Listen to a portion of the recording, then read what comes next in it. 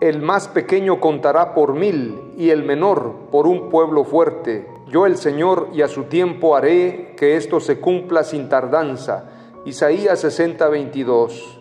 Las promesas de Dios son fieles y el Señor ha dicho que ha de multiplicarnos. Dios siempre ha de cumplir lo que promete. No importa si te sientes pequeño, no importa si eres una pequeña congregación, un pequeño número, el Señor declara, el más pequeño contará por mil y el menor por un pueblo fuerte.